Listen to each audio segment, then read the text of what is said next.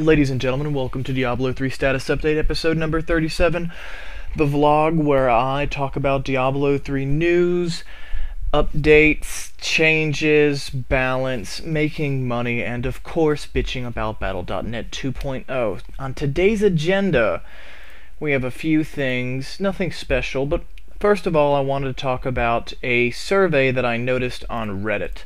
Now, this is a survey like a certain survey that was on Blizzard a few months ago, and this survey is basically what class are you going to play the most when Diablo 3 comes out based on what you currently know about the game and how it's played, and which region are you from? Now, I, as someone playing from the US East, am pretty happy about this survey because uh, 45% of the people that answered this survey are from the east coast of the USA, so that's really cool.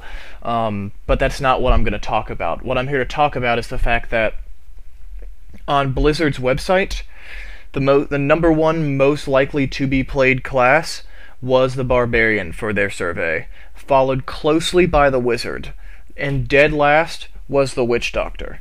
Now, things have changed a little bit, at least as far as the Redditors go, and remember, there's only around 1757, 1757 people on the update I'm looking at had filled it out. And of them, 26% chose the Barbarian as the highest number. However, the second place choice was, believe it or not, the Monk. The monk had second place behind the barbarian with 21%.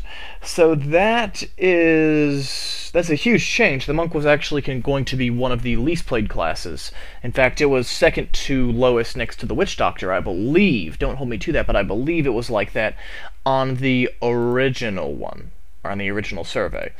So this shows a pretty substantial change based on what people thought of the way classes felt like on the beta. Now, another thing I want to point out is the fact that the wizard was a close second, and now the wizard is actually third or fourth on the list. The wizard is second to last. And this is pretty significant because the number three is the demon hunter, which puts the witch, the wizard as number four, and then the witch doctor is dead last. Now, the demon hunter, I said a long time ago was going to get a buff or it will be played more. In fact, all classes will get buffs. That the classes that are played the least will be buffed the most to encourage people to play them and experience them and to sink more time into the game. And obviously to make it more interesting, there are positives to it. But anyway, the Wizard was number two. Now it's at number four. And I think a lot of this is because people, A, found out that the Wizard was not nearly as much fun as people thought it was going to be. It just wasn't that much fun. And from my experience, it's it it's my least favorite class. And the Demon Hunter is a lot of fun. The Demon Hunter is not as smash and grab as the monk, but the demon hunter is, I mean, it's a ranged version of the barbarian or monk. It's just spraying damage everywhere. If you have a good connection and you're good at micromanaging things, then the demon hunter is the way to go. The demon hunter is really cool.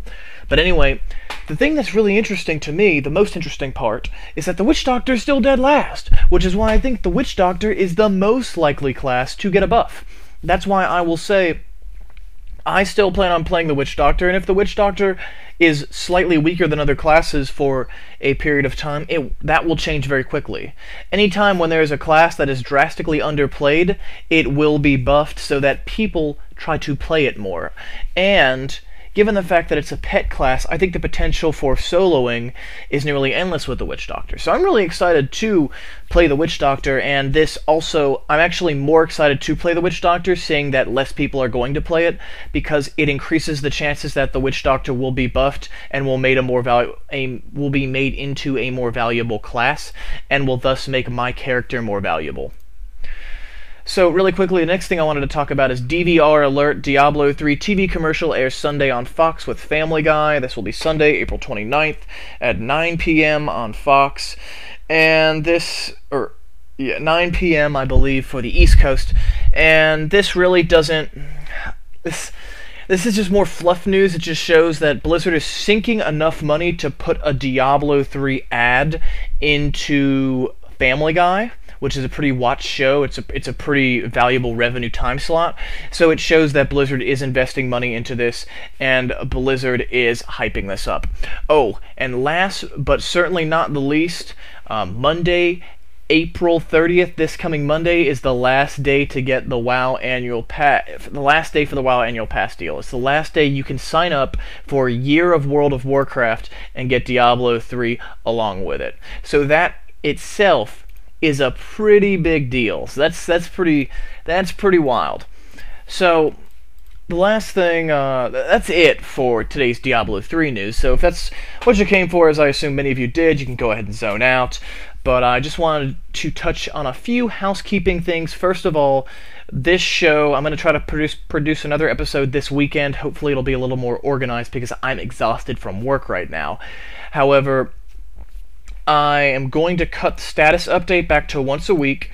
Evil Money, uh, and this will be starting next week. Evil Money will be starting uh, once a week on Saturday, starting the Saturday before the Tuesday that is launched. So that would be Saturday, May the. Sorry about this. That would be Saturday, May the 12th, would be the first episode of Evil Money and I'm also going to be doing a little more with StarCraft. I want to start uploading at least one cast a week, maybe a best of three cast a week, but preferably your casts. So I'm trying to do um, one or two StarCraft casts a week, in addition to Evil Money, in addition to Status Update, which will now be uh, under seven minutes instead of under five minutes, and it will be a vlog that I will put up once a week. And status update, I haven't decided it will either be Wednesday or Friday. Still up in the air about it. But anyway, thank you for watching. I might do a little streaming later tonight. I'm hoping to start streaming around 9:30, 10 p.m. tonight. Uh, tonight's Friday, April 27th, so just for reference. And the link to my stream will be in the video's information. Thank you for watching. If you like my videos, please subscribe, like them, upvote them on Reddit. It means the world to me. You can find me on Twitter at mackxten, and I will see you next time. Bye bye.